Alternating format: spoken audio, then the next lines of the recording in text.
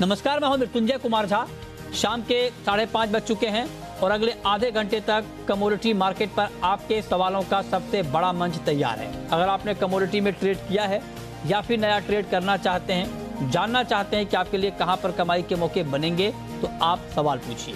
Number आप note कर लें, zero double two two three double zero, one six three four. इसके अलावा आप zero double two two three double zero, one six three five पर भी अपना सवाल पूछ सकते हैं।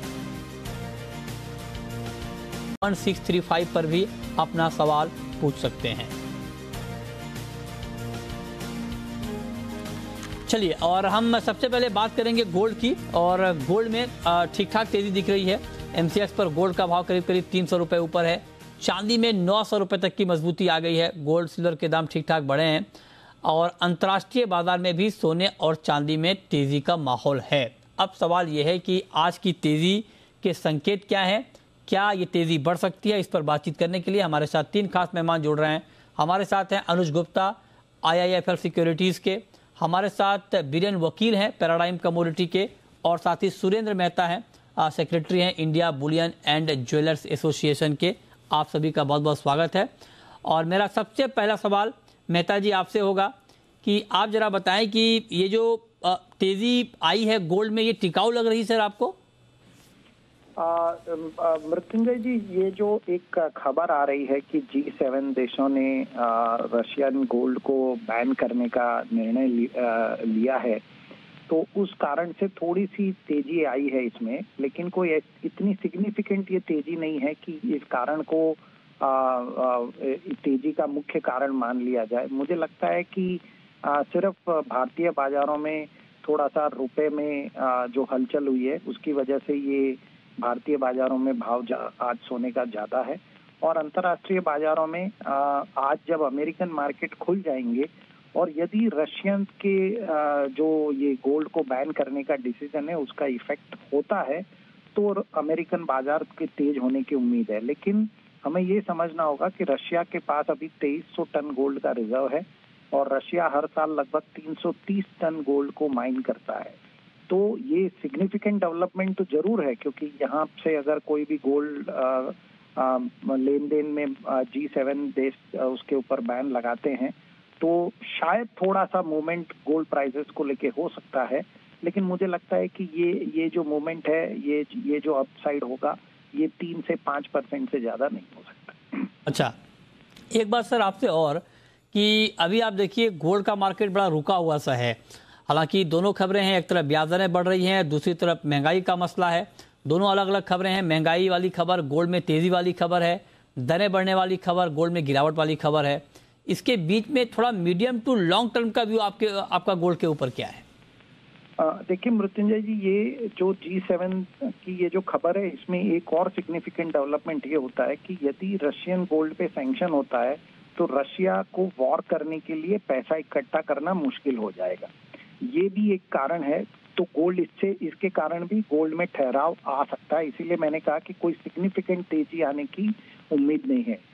गोल्ड का ट्रिगर इन्फ्लेशन को छोड़ के दूसरी कोई कंडीशन से हो ही नहीं सकता। यदि इन्फ्लेशन कंट्रोल में नहीं आया तो गोल्ड में तेज़ी बरकरार रहेगी। मैं अब भी मानता हूँ कि अगले दो से तीन महीने के अंदर हम गोल्ड को वापस 2000 से 2100 डॉलर के बीच में ज़रूर देखें।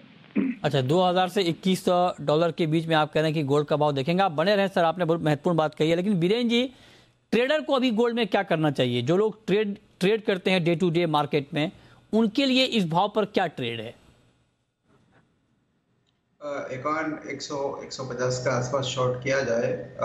अगर कोई एग्रेसिव ट्रेडर है तो करंट लेवल पे भी शॉर्ट जा सकता है। इसका ओवरऑल जो रेंज है मेरे हिसाब से पचास चार सौ इक्यावन चार सौ के बीच रहेगा। पिछले छः महीने से हम यही भाव देख रहे हैं और इसमें इंटरम पीक बन चुका है। जितने भी कोरोना प्रीमियम या वॉर प्रीमियम या इवन इन्फ्लेशन प्रीमियम भी थोड़ा डिस्काउंट लग रहा है मुझे तो मैं बाई साइड बायस थोड़ा कम प्रेफर करता हूँ। हम्म, ठीक है। तो ये आप कह रहे हैं कि गोल्ड में शॉर्ट किया जाए। आप एग्री करते हैं, अनुज जी, आपको भी लगता है कि ठीक है, आगे भले ही तेज़ी रहे गोल्ड में, लेकिन आज अगर कोई ट्रेड लेना चाहता है या अगले एक दो दिनों के लिए तो उनके लिए शॉर्ट करने का मौका है गोल्ड में? मित्र जी गुड इवनिंग देखिए लास्ट वीक गोल्ड करीबन 1830 डॉलर के नीचे क्लोज हुआ था और अभी हम देखें तो 1833 डॉलर चल रहा है अभी। और जिस तरीके से जी सेवन की मीटिंग के बाद से आउटकम निकल के आ रहा है कि गोल्ड इंपोर्ट बैन होगा रशिया की तरफ़ से। बाकी सब कंट्रियाँ रशिया से गोल्ड परचेज नहीं करेंगी तो एक माहौल जो है वो अगेन एक सेंक्शन वाला माहौल यहाँ पे दिखाई दे रहा है, जो कि अगेन कुछ जियो पॉलिटिकल टेंशन को क्रिएट कर सकता है। हमने देखा था कि क्रूड में जब सेंक्शन लगे थे तो एक तेज़ी का माहौल बना था। तो मुझे लगता है कि similarly kind of thing gold में देखने को मिल सकती है। हालाँकि गोल्ड अभी करीबन 50 850 के आसपास चल रहा है, यहाँ पर मुझे लगता है कि थोड़ा वेट करें। खरीदारी की सलाह रहेगी। पचास सात सौ के आसपास के लेवल्स मिलते हैं समवेयर अराउंड 1825 डॉलर के आसपास। तो वहाँ पे हम रिकमेंड करेंगे खरीदारी करने के लिए। हमें लगता है कि ऊपर में इक्यावन, दो सौ, इक्यावन, तीन सौ तक के लेवल देखने को मिल सकते हैं। मीन अठारह सौ पचास डॉलर तक के लेवल देखे जा सकते हैं। अगर आप ब्रॉडली देखेंगे तो अठारह सौ डॉलर मार्केट ने काफ़ी स्ट्रॉन्ग सपोर्ट लिया है। क्योंकि जिस तरीके से हमने लास्ट वीक यूएस के डेटा खराब डेटा देखे थे और डॉलर में कुछ वीकनेस आती हुई दिखी, उससे एक सपोर्ट गोल्ड को आता हुआ दिखाई दिया है।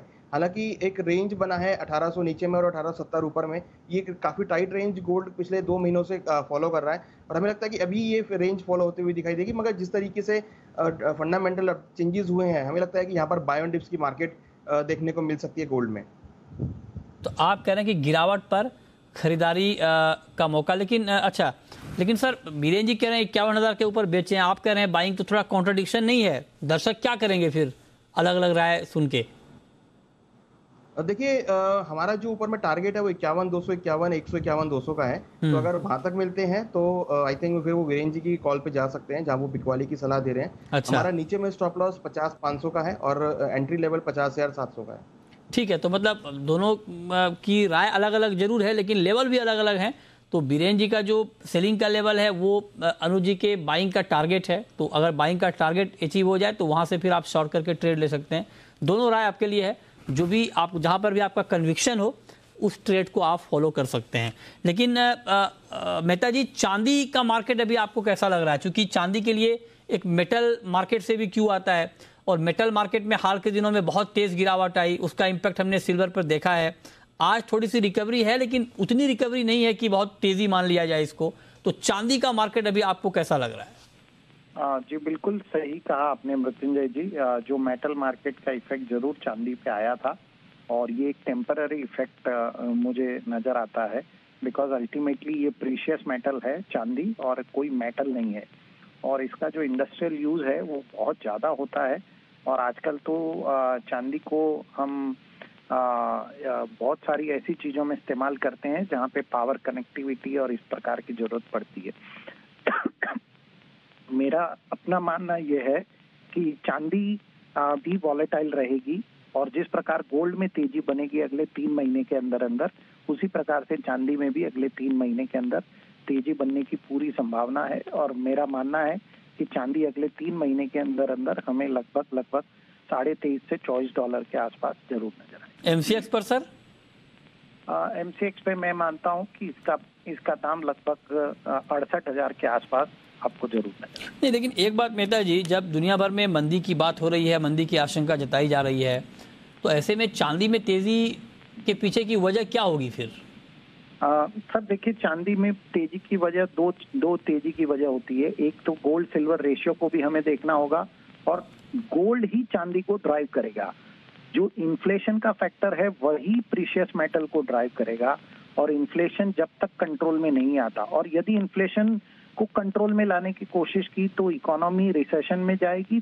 इन सब, इस सिचुएशन में भी जो ये गोल्ड होता है, वो हैज़ अगेंस्ट इन्फ्लेशन और दूसरे एसेट क्लास जब परफॉर्म नहीं करते हैं तो गोल्ड ऑटोमेटिकली परफॉर्म करना चालू कर देता है। और वहाँ से गोल्ड और सिल्वर के रेशियो को मेंटेन होने के लिए भी बड़ा सपोर्ट मिलता है। तो यदि गोल्ड आगे की तरफ़ भागता है गोल्ड में बढ़ोतरी होती है तो चांदी में ज़रूर बढ़ोतरी। ठीक है तो ये राय आपकी हो गई सिल्वर के ऊपर। बहुत शुक्रिया मेहता जी आपका जुड़ने के लिए और बुलियन मार्केट पर अपनी राय देने के लिए। चलिए अब हम शुरू करते हैं सवाल और जवाब और पहला सवाल है हर्षद पटेल का। पूछिए पटेल साहब। जी सर गुआर सीड में कैरी फॉरवर्ड कितना बचेगा? गुआर सीड में कैरी फॉरवर्ड कितनी होगी? अच्छा अच्छा। बताइए बीरेन जी। केसर और गवार दोनों की बैलेंस शीट में कभी ताक या कभी इसका नंबर नहीं मिल सकता। तो मैं इसमें कैरी फॉरवर्ड में ज़्यादा नहीं जाता हूँ। बट इसकी जो ब्याज बदला जिसको बोलते हैं उसमें ज़रूर जाता हूँ। अभी मुझे ऐसा लग रहा है कि बुआई के लिए आ, कपास और सोयाबीन जो रकबा खा रहे हैं तो बुआई थोड़ी इसकी पिछड़ेगी। कैरी फॉरवर्ड नंबर अभी से बोलना इट इज़ टू अर्ली ठीक है। नेक्स्ट कॉलर जगदीश हैं अहमदाबाद से। पूछिए जगदीश जी। मृत्युंजय नमस्कार। नमस्कार पूछिए। चार सौ दस रुपए के अंदर आठ हज़ार चार सौ का कॉल लिया हुआ है। ये पाँच सौ रुपये होगा या नहीं होगा प्रभु? हम्म। प्रभु तो आप हैं। कि आपने मार्केट आप बताएँगे आप तो लोग मार्केट हिम्मत रहेगी। मैं तो स्टॉप लॉस ट्रेल कर करके आगे बढ़ रहा हूँ नहीं नहीं बिल्कुल बिल्कुल हमारे इकतालीस पे स्टॉप लॉस लगाया हुआ है। हम्म, ठीक बात है। अनुज जी बताइए। देखिए हमें लगता है कि जो कॉल ऑप्शन उन्होंने लिया है ये सही है क्योंकि जिस तरीके से आज क्रूड में एक तेज़ी लौटी है हमें लगता है कि ऊपर में ऑलमोस्ट एटलीस्ट करीबन पाँच सौ रुपये तक के लेवल यहाँ पे जाना चाहिए। ये ट्रेलिंग स्टॉप लॉस यूज़ कर सकते हैं और 480 500 के आसपास ये प्रॉफिट बुक कर सकते हैं। ठीक है। तो ओके ये राय आपकी है क्रूड के ऑप्शंस पर। अगला आ, सवाल है संजय का। पूछिए संजय जी। सर मैं जानना चाहता हूँ कि इस पोजीशन पर चांदी में क्या किया जाए? चांदी में अभी क्या किया जाए? अनुज जी आपका व्यू क्या है सिल्वर के ऊपर? साठ हज़ार पाँच सौ के आसपास है चांदी का भाव और करीब करीब आठ सौ रुपए के आसपास की तेज़ी है। एग्जैक्टली exactly इस प्राइस पर क्या करना चाहिए चांदी में? देखिए मैं हमेशा से कहता हूँ कि जब भी चांदी नीचे आएगी तो वहाँ से अच्छा रिकवरी देखने को मिलेगी। लास्ट फ्राइडे को हमने देखा था कि अट्ठावन छः के आसपास तक चांदी का भाव आया था और वहाँ से एक शार्प रैली जो कि करीबन साठ या सात सौ तक देखी है। तो यहाँ पे जो रिकवरी है, बहुत फास्ट है। चांदी हमें लगता है कि यहाँ पे खरीदारी करना चाहिए। अभी साठ या चार सौ के रेट चल रहे हैं।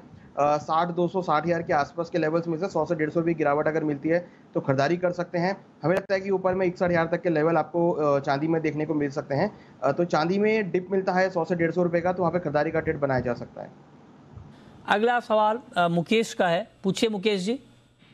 सर मेरा सवाल ये है कि आपने सुबह ग्यारह बजे बताया था कि गोवा में पचास परसेंट पश्चिमी राजस्थान में अधिक है।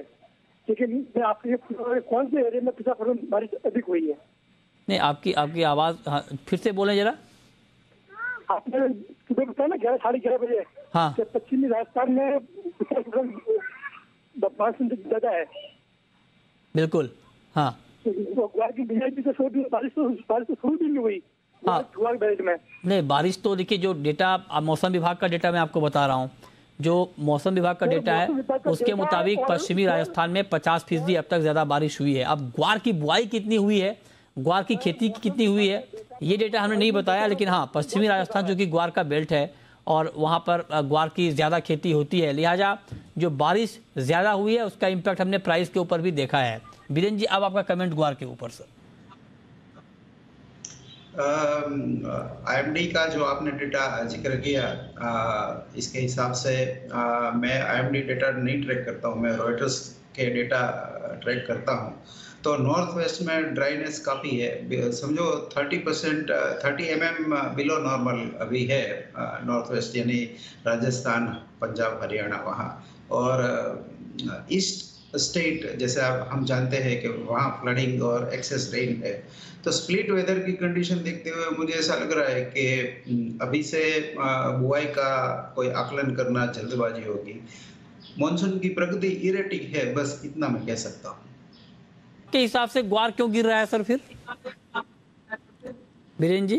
आ, अभी मार्केट काफ़ी एग्री मार्केट काफ़ी शेलो बन गए हैं। जैसे अगर कॉटन की बात करें तो दो दिन में कॉटन चार हज़ार डाउन है आज चार हज़ार अप है। तो अगर कोई मुझे पूछे कि चार हज़ार डाउन क्यों हुआ तो मैं सामने काउंटर क्वेश्चन करता हूँ तो चार हज़ार अप का जवाब दो तो मैं आपको चार हज़ार डाउन का जवाब दूँगा। तो आपसे तो, दोनों सवाल पूछ लूँगा।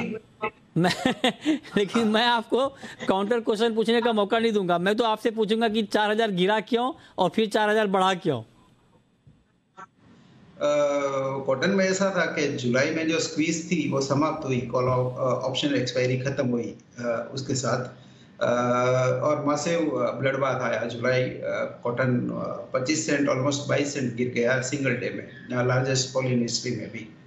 तो शेलो मार्केट में जब कम वॉल्यूम होता है तब ऐसी एग्जागरेशन होती है। निकल में भी हमने ये देखा पचपन हज़ार वाला बाईस हज़ार टीन में इक्यावन हज़ार वाला बाईस हज़ार देखा। तो अभी मार्केट में वॉल्यूम बेहद कम है।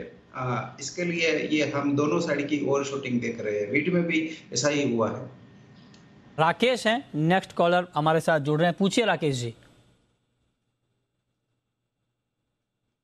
अच्छा राकेश से लगता है हमारा संपर्क नहीं हो पा रहा, लेकिन सोया तेल पर वो पूछना चाह रहे हैं। उसे फ्यूचर में तो अभी है नहीं, लेकिन आप बताएँ अनुज जी, क्या लगता है अभी आपको फ़िज़िकल मार्केट में सोया तेल का भाव? देखिए एडिबल ऑयल्स की डिमांड डेफिनेटली गर्मी में है, कम देखते हैं तो वही यहाँ पर देखने को मिला और हमने देखा है कि पिछले कुछ दिनों में खाद्य तेलों में भावों में नरमी देखने को मिली है। अभी फ़िलहाल एक ट्रेंड जो चला है, वो थोड़ा डाउन साइड का है। हमें लगता है कि अभी जो भाव हैं थोड़ा नरमी के साथ ही आने वाले दिनों में ट्रेड होंगे। हमने सरसों के भाव में गिरावट आते हुए देखी है। पाम के अंदर भी गिरावट देखी है और सोया तेल के अंदर भी गिरावट देखी है। तो फ़ी फ़िलहाल जो ट्रेंड है थोड़ा सा डाउन साइड का है। हालाँकि आगे मौसम में तब्दीली होगी और फिर विंटर सीज़न स्टार्ट होगा फेस्टिवल सीज़न स्टार्ट होगा तो फिर वहाँ पे तेज़ी देखने को मिल सकती है। मगर फ़िलहाल अभी शॉर्ट टर्म में हमें लगता है कि एडिबल ऑयल्स में एक डाउन साइड का ट्रेंड देखा जा रहा है। हमारे साथ पूछिए सिद्धार्थ। सर मेरे को सिल्वर पे जानकारी चाहिए थी जिससे इस इस मिति में सात हज़ार से ऊपर चांदी आ गई थी और फिर नीचे में अट्ठावन हज़ार पर आ गई थी।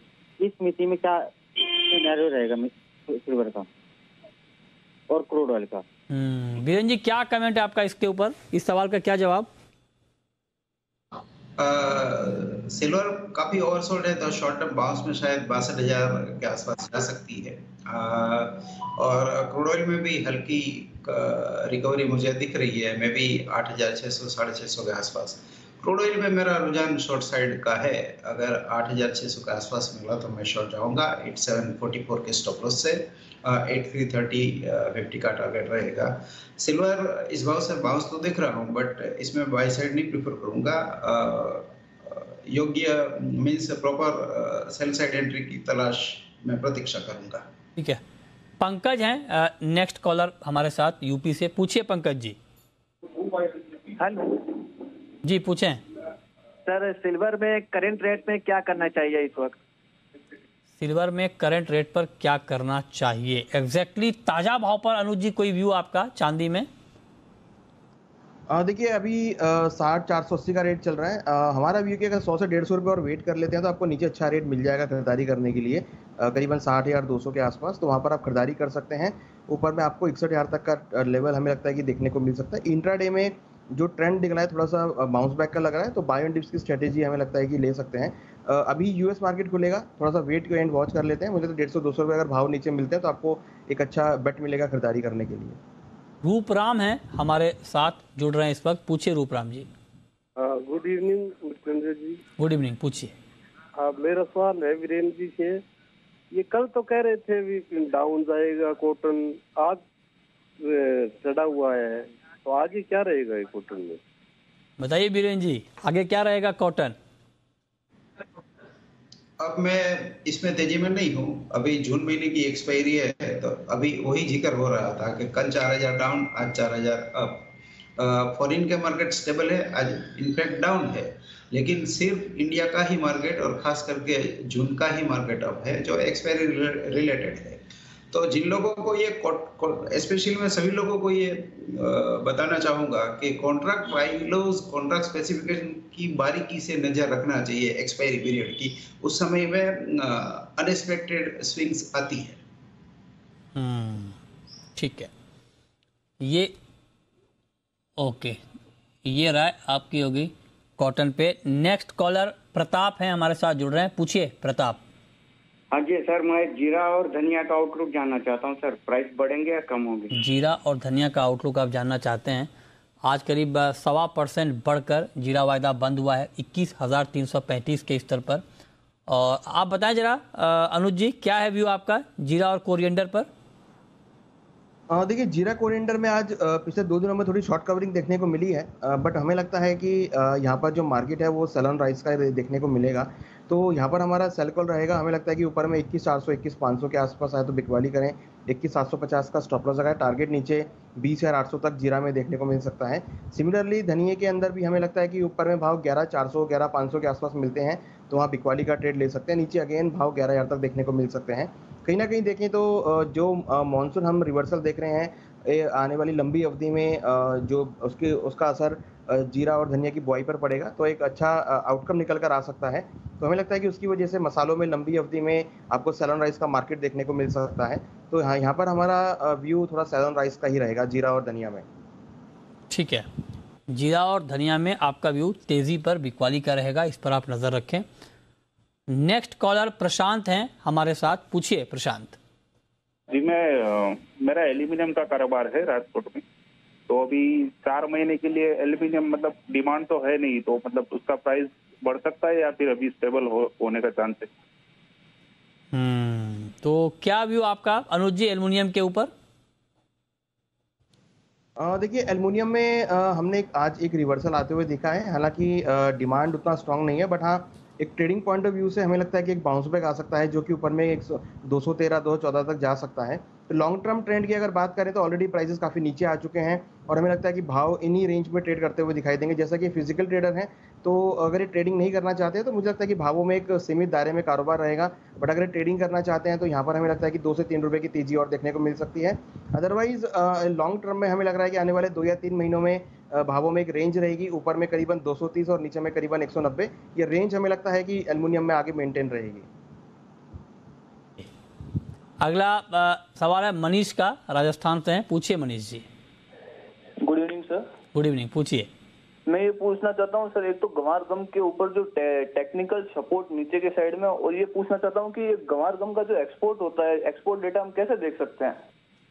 ग्वारगम के एक्सपोर्ट डेटा को हम कैसे देख सकते हैं? बताइए बीरेन जी।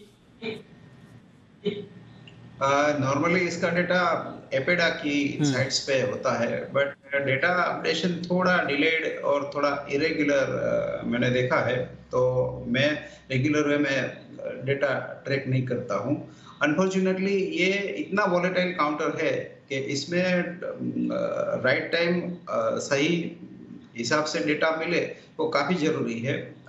जैसे सॉल्वेंट एक्सट्रैक्टर का जो डेटा आता है ऑयल सीड्स में, वो रेगुलर रूप में आता है बट गवार और गवार गम में ये नहीं देखा जा रहा है।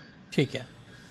चलिए, बहुत शुक्रिया बीरेन जी आपका, अनुज जी आपका, जुड़ने के लिए, बताने के लिए कहाँ पर कमाई के मौके बनेंगे और ढेर सारे सवालों के जवाब देने के लिए।